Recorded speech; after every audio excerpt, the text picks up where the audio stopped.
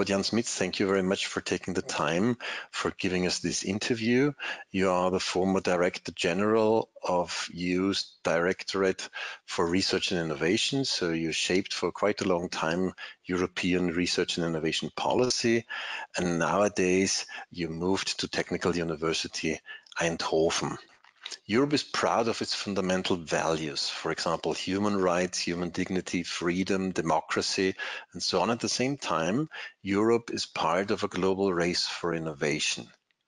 What role can European values play in this race for innovation? Is there a specific European approach to value-driven innovation?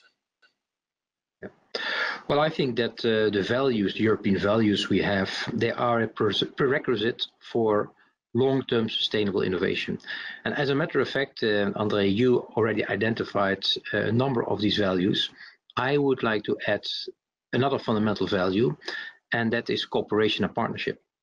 So our, say, our innovation model is based on the European values of freedom, democracy, equality, rule of law, dignity, rights, and cooperation and partnership.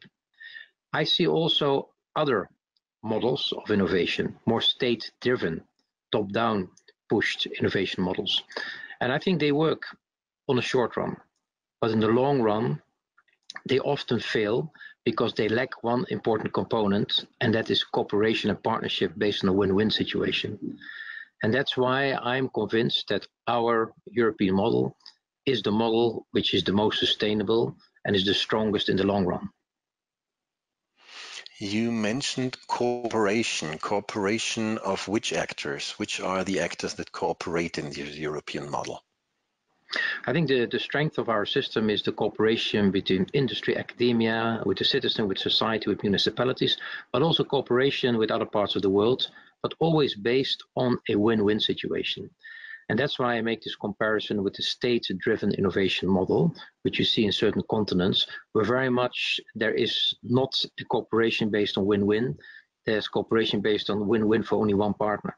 And that's why I say I think that this model, a top-down state-owned driven model, not based on partnership and cooperation, but on a selfish attitude, will in the long term not survive because they will completely isolate themselves. Is there a certain, you mentioned openness to the world. This has also been one of the big brands of the Horizon 2020 program, openness to the world. And you mentioned cooperation. But isn't there also a kind of competitiveness aspect in research and innovation? And how to deal with this tension between cooperation and competitiveness on a global scale? Well, that has always been, um, of course, the, the, the, the, question also for Horizon 2020, what is the balance between cooperation and competition? If I take the European Research Council, the ERC, that is fierce competition between the best brains, and then those who win are really top-notch researchers, they get the grants, and they are able to extend the frontiers of knowledge. In other fields, um, the cooperative research, the collaborative research uh, projects are very there, much there to work in partnership with other continents across the globe to find solutions for the grand societal challenges. And there you are in a partnership trying to use the best strength of each partner to find a solution for these grand societal challenges. So there's always been in European programs and in all innovation models a good, say, balance between competition on the one hand and cooperation on the other hand. Uh, you also mentioned society. What role does society, what role do citizens play in this cooperative way of innovating? Well, I think increasingly important that the citizen is a co-designer of the innovation uh, system, is a co-designer of the agenda, is a co-designer of the solutions which are necessary. So I think this, this co-designing is essential for a, long-term sustainable innovation system. It's no longer anymore an issue of industry doing things or the university doing things. It is really an all-inclusive process whereby partners from the triple helix sit together, work together, think together, develop long-term uh, roadmaps uh, in order to get the innovation through. And uh, that is the model I see more and more emerging, especially here in the region of Eindhoven, which is quite uh, amazing. This is the fastest growing area in the Netherlands, uh, also one of the fastest growing in Europe, all high-tech companies. If you look at the annual turnover of the companies in the city of Eindhoven, around 72 billion. They invest an enormous amount of money in research. And we have one organization which brings the triple helix together. It's called Brainport, where municipalities, the province, um, citizens, companies, and universities sit together to discuss the innovation agenda and work in partnership to implement this innovation agenda. And I think that's the strength of this region of this model. Uh, within these partnerships, what roles do citizens play? Do they really have an impact on the agenda of the, these innovation networks?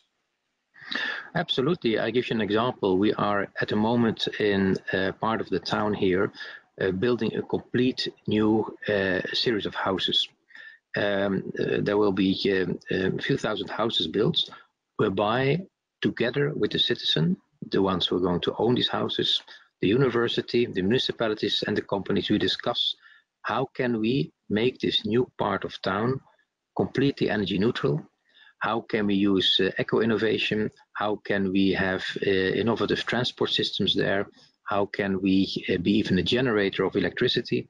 So together with all the partners involved, we are developing this new part of town, these new houses, uh, and that's, I think, the strength of it, that everyone is involved in setting the agenda and developing the innovation plan.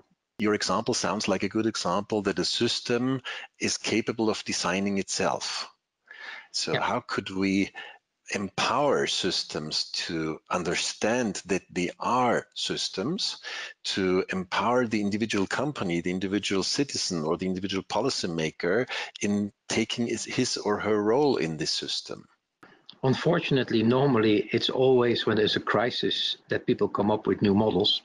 And it happened the same in this region. Don't forget, 10, 12 years ago, this region was in enormous problems. Philips was almost bankrupt, and uh, DAF had serious problems, the car manufacturer.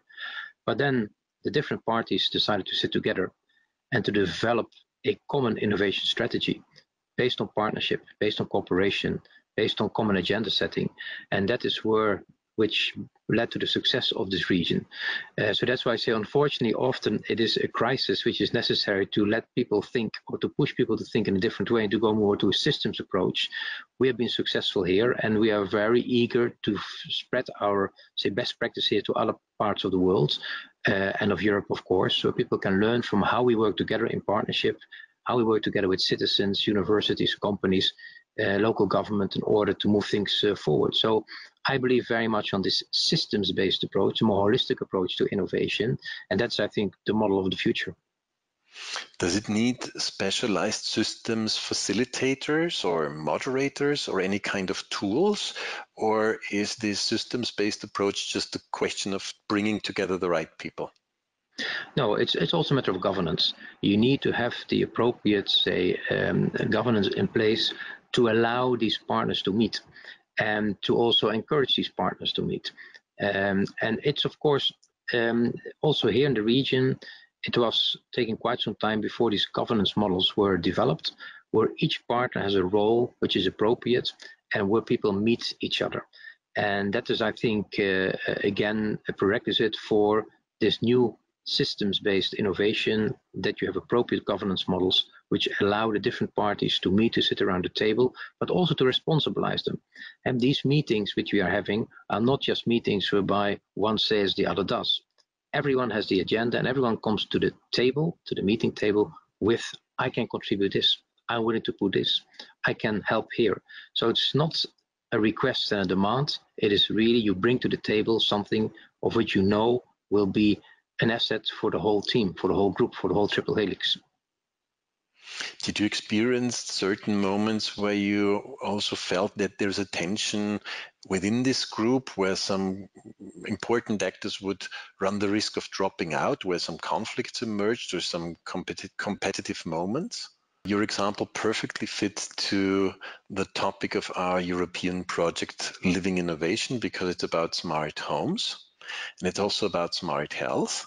Uh, do you know if this case study you mentioned also touches upon issues of lifestyle, health, and fitness, or is it just about building infrastructure?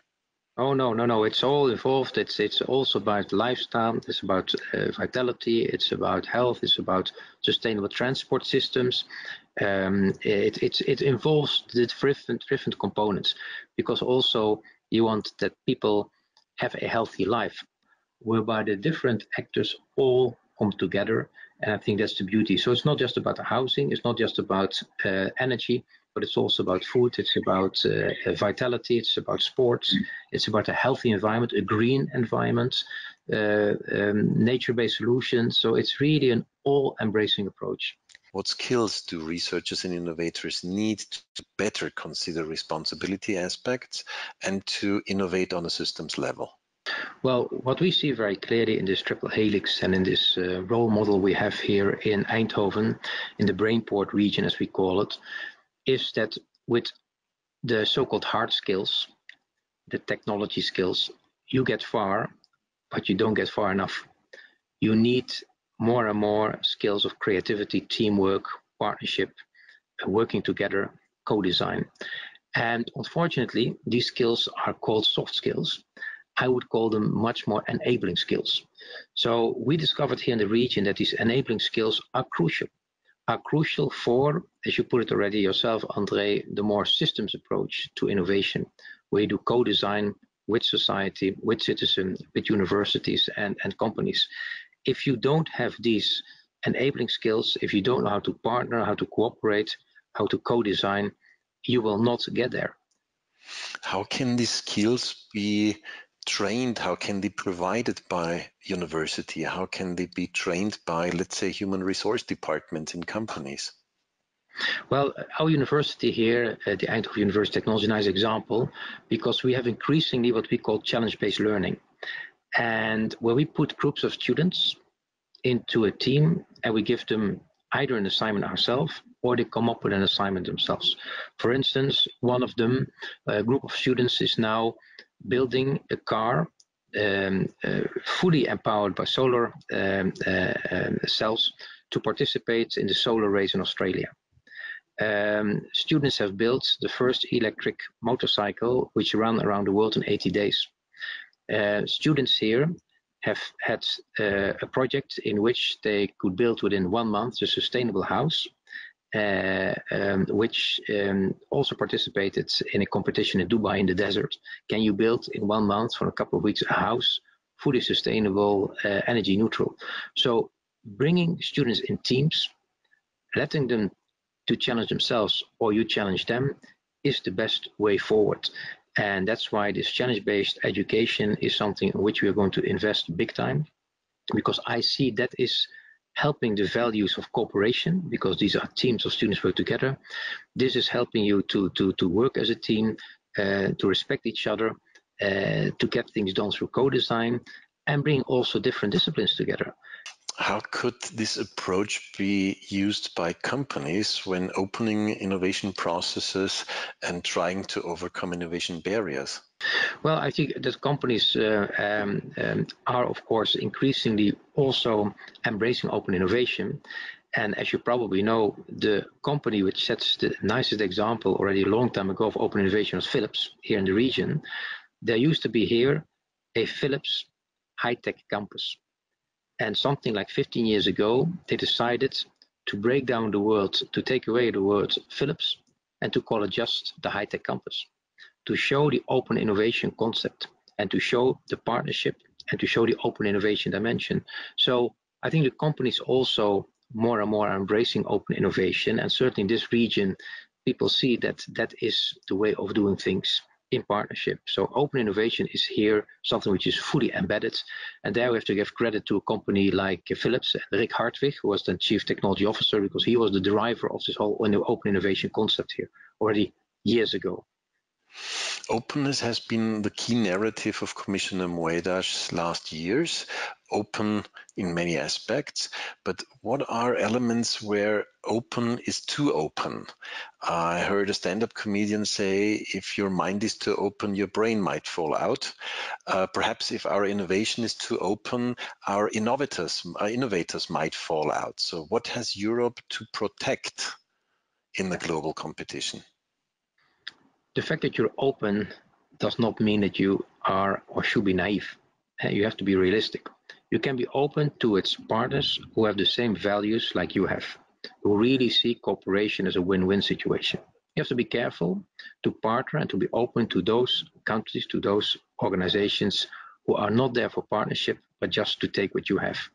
Um, and that is, I think, something which in Europe we realize more and more that uh, we should not be naive in cooperation. We should only be cooperating with those who have the same values and uh, um, with whom we have a real win-win situation. Mergers and acquisitions have been banned in several cases when there was a risk of a monopoly. Uh, now, what about key enabling technologies? Should Europe have a closer eye on key enabling technologies to avoid mergers or acquisitions of very important companies uh, and therefore trying to protect its unique proposition? Well, I know one thing. Where Europe unites and works together, we are unbeatable. Take CERN in Geneva for basic research, the field of energy. Take Airbus a European project where we join forces, we are unbeatable. We are the strongest in the world. And I've always said, why don't we not do that in other areas as well? But that requires also, I think, a serious review of the European competition policy. We all know the debate about the merger between Siemens and Alstom, uh, which was not allowed uh, for uh, competitiveness reasons, uh, competition policy. I think we need really to review the European competition policy uh, and to be from that point of view much more perhaps uh, daring, clear when it comes down to key enabling technologies, areas where strategic assets, strategic strength of Europe are necessary by combining forces. Will this have also some effect on acquisitions by leading companies from companies outside Europe. For example, the robotics market has been sold out to companies from outside Europe. And it's quite similar when we talk about big data and artificial intelligence. There are no comparable big players in Europe comparable to Google or to Amazon. You've seen that uh, also from the side of the European Commission, there is now over the last years a policy developed that you have, which says let's be very careful by allowing takeovers by non-European companies of our robotics firm. There was even in Germany a big debate because that was one of the origins of the of, of the whole discussion when there was a robotics company which was bought up by I think a Chinese company. Um, we have to be extremely careful that we protect our key enabling technologies. Uh, like the artificial intelligence, the photonics, uh, um, we just cannot afford to sell that out or to let it be sold out. Um, in the Netherlands, we had an interesting debate as well on the uh, um, uh, shares, governmental shares of our telecommunication system. Uh, there was a Mexican investor called Mr. Slim. He wanted to buy up the Dutch uh, telecom company and uh, which is a key component of the Dutch strategic ICT infrastructure. And of course, Mr. Slim, as an entrepreneur, only had one idea to cut it in pieces and to sell it then to other parties. Is that an interest of the Netherlands? Is that an interest to have a uh, um, an entrepreneur from Mexico um, taking ownership of a key part of your uh, ICT infrastructure? With only one goal is to break it down, to split it up and to sell it in different pieces to make a lot of money. No. And therefore the government rightly said, no, we will not allow that. So I think there has been more common sense uh, increasingly last years for Europe to protect its key enabling technologies, its basic infrastructure, uh, uh, and not to sell out too quickly to third parties. Was this basically the interest of the Dutch government or the interest of Europe? What role did Europe play in this case, or was it just the Dutch case? I think it's a it's a general um, discussion we see in all European countries uh, taking place. Uh, so the Netherlands, which has normally been an extremely open and liberal country, everything was possible here with regards to takeovers and mergers. I think also in the Netherlands, people have come to realize: have we not gone too far? With this globalization, with this uh, uh, um, um, free market approach where everything is possible. And uh, again, um, this is something now which I think more and more countries in Europe uh, come to think about. Uh, is it good that our ICT infrastructure is owned by foreign companies, uh, or our utilities in the field of water or electricity? Is that something which which we want? Uh, is it good? Should we have a, should we have always a majority share or golden share, as people call it, as government, that you can still always be, you know, involved? So, I think it's only healthy that we think about these elements um, because it's not, how should I say, uh, a fair world uh, where everyone applies the same rules and have the same moral standards. Uh, increasingly, we say that is not the case. Uh, we live in a very rough world where you should only, uh, where you should not be naive and only work with those partners who have the same values as you have. Living at home will dramatically change. All the, uh, the experts that I talked to told me. Um, so our homes will really look different in 2030. But many of these experts don't have a clear vision how our homes will look like in 2030. What is your expectation? What is your vision? How will your home look like in 2030? And how will your life at home look like in 10, 15 years from now? Well, I, I, I, I don't think that there will be that much revolution. People will still live in homes people will still go to work. Here, of course, in the Netherlands on a bike very often. People still go to restaurants to enjoy food, go to theater. So from that point of view, I think the life in 2030 will not change from that point of view. Um, just give an example. I moved here into a new apartment building, which just was constructed. Well, that will be still there in 2030. So I think that will not change. We will still live in homes. We will still go to work on a bicycle or a car. We will still go to restaurants or theater. What will change is, of course, how the whole infrastructure around us is changing. Uh, my apartment will then not anymore be on natural gas, but it will get other sources of electricity. I will not go anymore if I use a car uh, by a, a, a, car driven by combustion engine, but it will be probably an electric vehicle which I will use. There may be even automated driving involved when I uh, use this car. Perhaps I will share the car with all the people who live in the apartment building. So I think the infrastructure around us will change. We will have 5G, eh, which allows uh, also the whole, uh, say, wireless communication to go much quicker. So the infrastructure will change, but I'm convinced that in 2030, people still will live in homes, will still go to work, will still uh, uh, go to theater and go to restaurants, but it will just be a different infrastructure in which we will operate. ICT experts say that Europe needs certain areas where it is a world leading, a world leader. Could smart health, but also be smart homes, be such an area for a unique proposition in, on a global scale for Europe? Well, in general, I would not be that skeptical or pessimistic about our continent. Uh, we have 7% of the world population in Europe, but we still deliver one third of the world knowledge we have um, an amazing uh, um, uh, companies in the field of cars, trains, airplanes. We have first-class pharma and food companies. So we have a highly educated labor force. We have top-notch universities. So I'm very optimistic about our continent. Uh, the area where we have been missing out is the whole digitization or digitalization. Um, and now, as you all know, this digitization is even entering our sectors we are so strong the food area, the health area, the pharma area. And I think that is our biggest challenge to really catch up on the whole digital and big data agenda and to make sure that those sectors in which we have been traditionally strong and world leading are benefiting from digitization for big data. That will be the big challenge. Uh, so I don't think that uh, our situation as continent is that bad. I think we have a lot of assets, but we need to get our act together.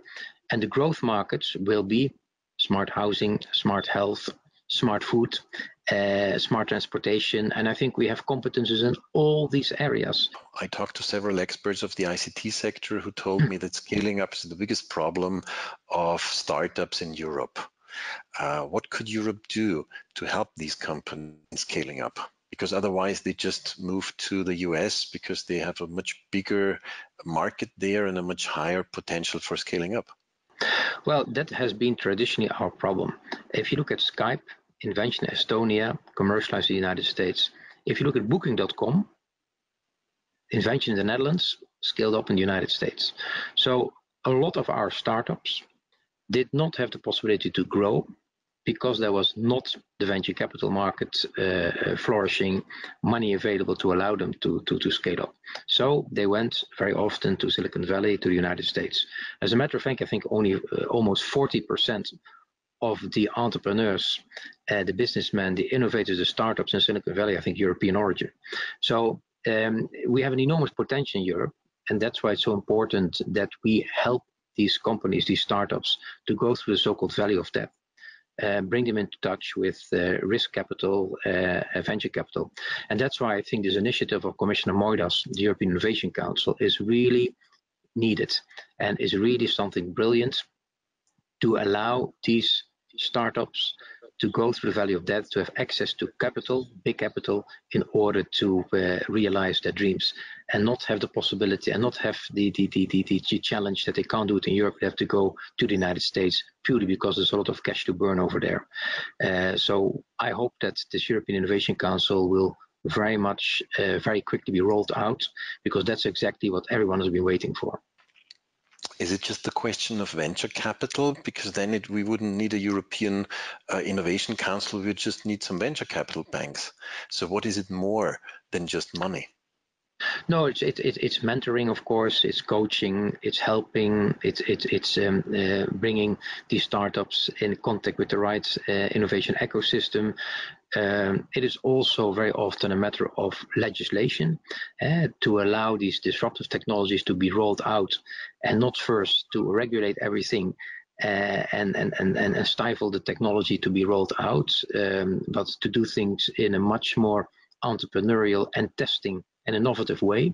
Uh, we in Europe have the tendency that before we allow technology, new technology rolled out, that we first make legislation and re-regulation, and then by the time then this technology uh, is supposed to be rolled out, it's it's too late.